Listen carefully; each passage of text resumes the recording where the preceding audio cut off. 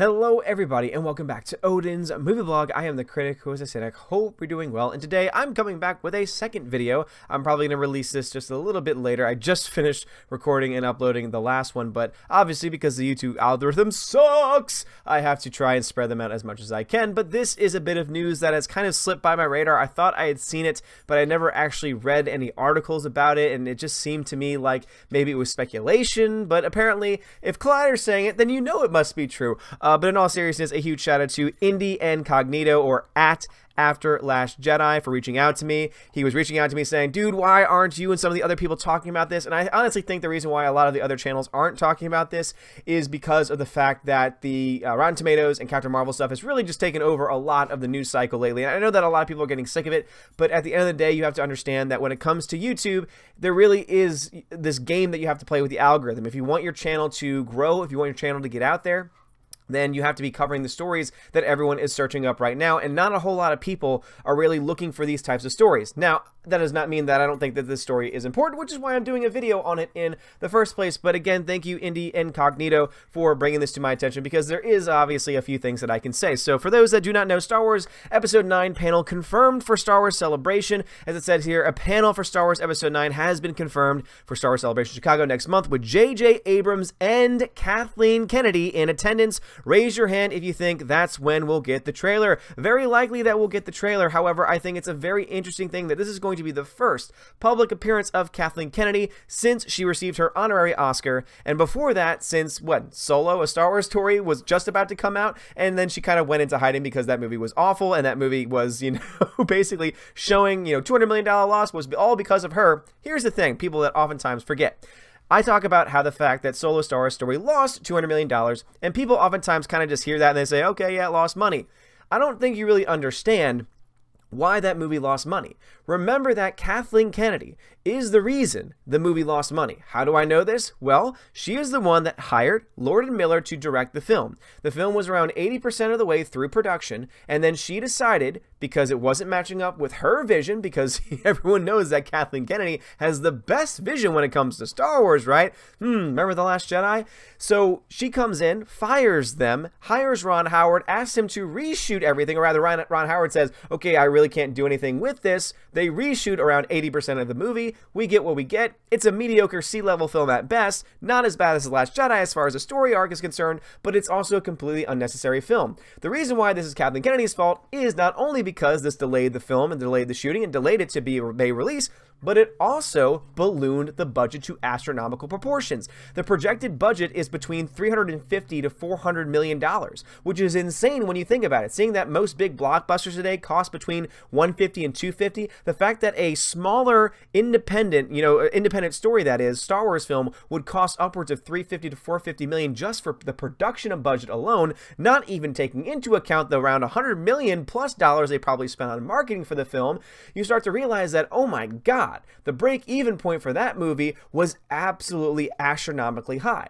And the reason why I blame Kathleen Kennedy for this is because just imagine if you will, if Kathleen Kennedy, being a good producer, or not even good producer, being a good head of Lucasfilm, being a good visionary mindset, a good visionary president at the top, which we know at this point she is not. She could have said, okay, this is the direction that I have. Here is a director or a group of directors that I think can have that vision. Boom, I got them. Boom, they're doing exactly what I expected. Boom, they're taking it in their own direction as well. The fans are going to be happy. Everyone's going to be happy. We're going to make money, and therefore everything will be fine. But instead, what she did was she said, no, I have have my own vision, and my vision makes no sense because if you just look to the fact that episode 7 and 8 kind of are connected but kind of aren't connected, and episode 9 is going to go in whatever direction it wants to go into, you realize, oh my god, this is a jumbled mess. So it makes a lot of sense to see what happened behind the scenes for Solo Star Wars story, especially since something very similar happened to Rogue One. Rogue One had a lot of behind the scenes stuff, had to do a bunch of reshoots. Again, balloon that budget a little bit too, but that film was able to actually at least make over a billion dollars, and it's because of the fact that it had not come out after The Last Jedi. That's why when people say, oh, the reason why Solo failed is because it came out in May. We know that's not true because we know that there are other films that have come out in May that have been financially successful, including Star Wars films that have done well in May. So it cannot be May. Then they said Star Wars fatigue. Well, we know that that's not true because I'm sorry, you literally just had a movie come out this weekend called Captain Marvel that is coming out just a month before another movie coming out called Endgame, which are both doing very well. Or rather, Captain Marvel is doing very well at this point, has the potential to break a billion dollars at the box office, and then you have Endgame, which is guaranteed to probably get to at least two billion dollars at the box office, maybe even get somewhat somehow. Please God, I know that everyone's having issues with Endgame, and I have my issues with Endgame, and the, and I obviously have my issues with Disney and everything else, but I still love the Russo brothers, so I'm torn in two directions because it's like I want to support the Russo brothers and the work that they've done, but I also don't want to support Disney because of the crap that they've done, and so I'm stuck between a rock and a hard place. But luckily, because I'm a YouTuber, and luckily because I'm a movie review YouTuber, I get to kind of use that as an excuse for me to eventually go see the movie overall, and, and probably will end up paying for it. Oh, that makes you a hypocrite then for talking about the boycotts and everything else. Hey, look, I, I know what that means. I, I, I know that it seems that way, but also I think that all the logical people out there can at least understand where I'm coming from. But you have all of these things, all these pieces of the pies coming in, but at the end of the day, all that you're left with is this simple fact. You have people running Disney at this point who do not really know what they're doing. Kevin Feige, again, seemed to know what he was doing, and then Captain Marvel came out. But getting back to the point of comparing the MCU and talking about Star Wars fatigue, why is it that you have a film that is making this much money, has already broken even at this point, unless Deadline apparently is to be believed, and the number isn't over 500, you know, is somehow over, well over 500 million dollars at this point, which was again the standard break-even number. And if that is the case, then okay, how is it that you can say that this film is making money? Endgame is expected to make a lot of money. I'm sure you're going to start hearing very soon, oh my god, the pre-sales are outpacing everything except for Captain Marvel, and Captain Marvel is going to stay in the discussion all the way up until Endgame releases. So I'm sure that that's not going to be anything, you know, going on. But you have all these films coming out six months apart from each other. Sometimes you have two movies a year, three movies a year, and yet somehow, some way, in 10 years and over 22 films, you have not had any type of superhero MCU fatigue. You have not seen it on that end. And so fatigue doesn't work either. Because when you look at The Last Jedi coming out, and you look at Solo Star Wars Story, there's about a five month gap, which is plenty of time. Take into account that it's a little bit more than a month between uh, Captain Marvel and also uh, and also Endgame, and you realize, okay, so they obviously don't even believe that story because they're doing it themselves by putting out two films very close to each other. So if it's not fatigue, then what else is it? Oh, wait a minute, that's right. A weak story can only go so far. You can have you've had plenty of weak stories and weak movies and bad movies that have made money. Great example coming out in March. You know, it's so funny that everyone's saying all the records that, you know, Captain Marvel is going to break in March. Here's an interesting point. You have freaking Alice in Wonderland that is likely going to still have made more in its run in March than Captain Marvel will by the end of it. And if anyone's going to say anything about that movie, they're going to say, "Oh, good god, that movie objectively is not very good." But that doesn't mean anything because guess what? Bad movies make money. Movies that are not good, that both the critics and audiences can actually agree on for a change that aren't very good, can still make bank for a variety of different reasons. The reason why, the main and primary reason why Solo a Star Wars story ended up losing money and making $600 million less than any other Star Wars film under the Disney tenure is because of The Last Jedi. And I know that the Scott Mendelsons of the world are going to try and say, oh, well, Captain Marvel just proved you wrong because you said that there was just as much dissatisfaction going on with this film and this franchise, and so why isn't it that this film didn't somehow lose money? Well, that's a pretty simple solution. Captain Marvel did not come out after a bad movie. What were the two movies that came out before Captain Marvel? Infinity War and Ant-Man and the Wasp you know, Infinity War was the movie of 2018, despite what the Oscars and everyone else want to try and say about how Black Panther was revolutionary and all of these great things. It was a fine B minus film. Again, it was a fine B level film. Nothing too special, nothing too amazing. Some pretty solid stuff. Great acting for sure. Cinematography was pretty good, and uh, you know the effects were uh, a mixed bag, ranging from total crap to something pretty good.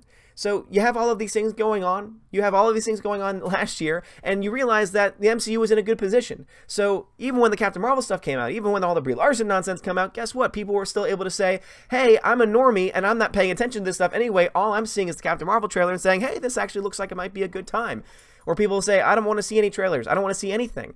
Again, these normal, uh, you know, I call them the standard people. I call them just the everyday generic fans. I call them the generic MCU fans, meaning that they're not heavily invested in the lore. They're not heavily invested in the comics. They're not necessarily even heavily invested in all of the news stories and the spoiler talk and all of this stuff. It makes sense then that a lot of people then would go to see it. It also makes sense when you realize that the movie was packed into as many theaters as possible, as possible in as many countries as possible, and therefore it was very front-ended. You know, the, the, the front end was very heavy loaded, and I even said that from the very beginning, just talking about Thursday and why the Thursday Thursdays did so well.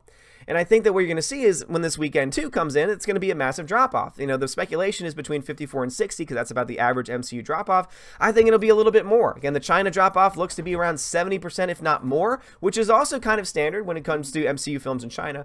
But we really won't know how well that film will do overall by the end of its run. And at the end of the day, if it indeed makes over a billion dollars, we can thank the general MCU audience that is very excited for Endgame overall. But bringing it back to Star Wars, bringing it back to everything like that, the reason why Kathleen Kennedy is to blame is because she is the one that fired Lord and Mitter, uh, Mitter, Lord and Miller took this production into absolute chaos and ballooned the budget to a point where even if this film had somehow made money, even if this film had been successful, had been marketed well, had actually had people interested in it, it, it would have still at least then made money. And so therefore you have to ask yourself, okay, wait a minute. The marketing was there.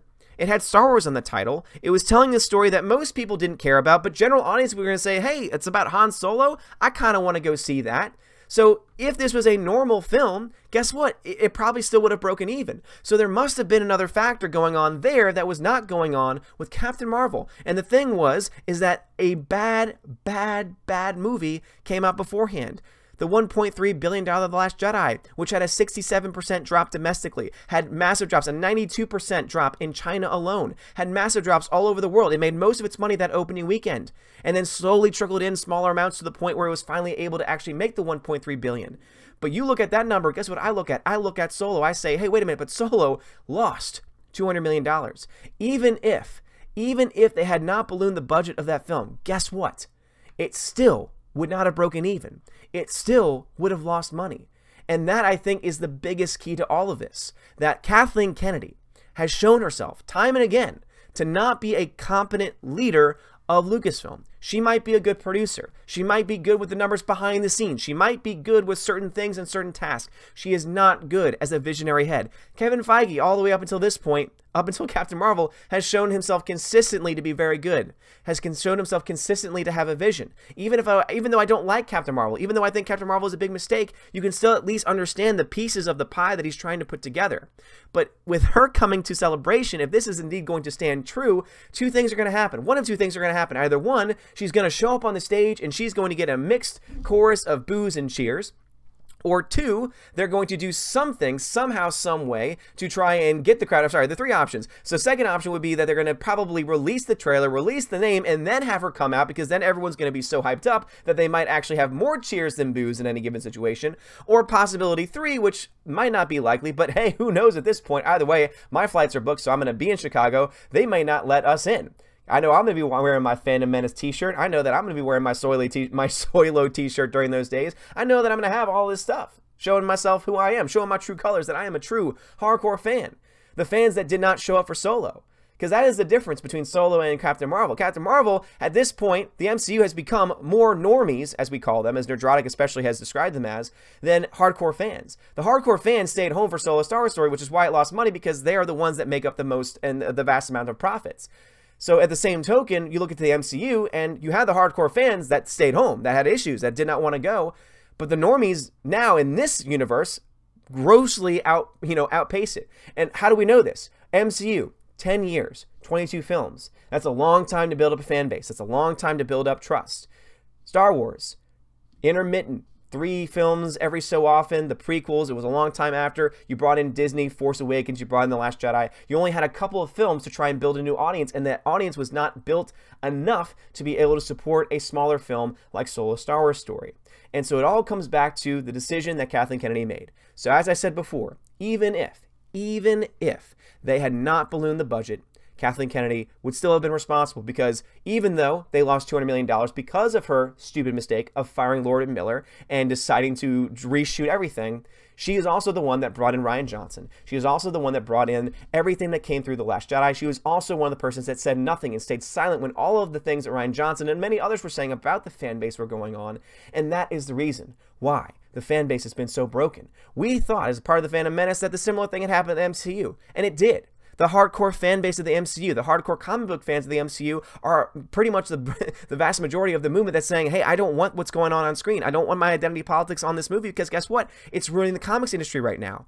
But now, because of the 22 films, because of the 10 years, the audiences have now shifted. No longer is it the hardcore fan base. For the Star Wars fans, for the Star Wars movies, they still have that very strong Star Wars EU based people who love all the stories, all the mythology, all the merchandise, and everything like that.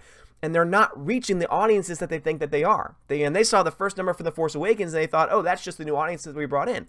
Part of it is, part of it is the general audience, but most of it actually, I would say a core part of that is the, the major, the, the main fan audience.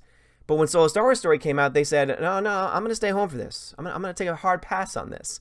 And it's just interesting to see how all this plays out. But anyway, so uh, thank you once again, After Last Jedi, for reaching out to me with this. I know that we've been kind of missing a lot of Star Wars news lately, especially on this channel. I know a lot of people started following me because I was doing a lot of the Star Wars news that other channels uh, were doing. And I know that I've been spending a lot of time on things like Captain Marvel. But at the end of the day, I'm also trying to cover as many things as they interest me. I'm not just making videos for the sake of making videos. I make videos if it's something that I feel like I can talk about. I make videos if I feel like it's something that I have passionate about. And this is definitely something that I definitely want to talk about because I am going to Celebration. I do have my issue with Kathleen Kennedy. If she goes up on stage, I am going to be one of those people going, boo, boo, go home, boo, please step down for the love of God, boo, let someone else take over. I'm going to be that person if they even allow me to go in. But at the same time as well, I am also someone who is not getting a whole lot of Star Wars news because most of it these days tend to just be, you know, nothing burgers. This one's not. So After Last Jedi, thank you for reaching out with me for this, and also for reaching out with me about a bunch of other Star Wars related articles. And I hope that I'm able to start talking about more Star Wars stuff and also other non-Captain Marvel related videos as well. But we shall see how things go because it's all about what interests me. Again, I do this for fun. This is not a job to me. Obviously, it's become like a job almost because of uh, just the, the, the monetization and the ad revenue. And I'm just so thankful for you guys for supporting these videos and for liking it and for defeating the trolls in the comments and all this stuff.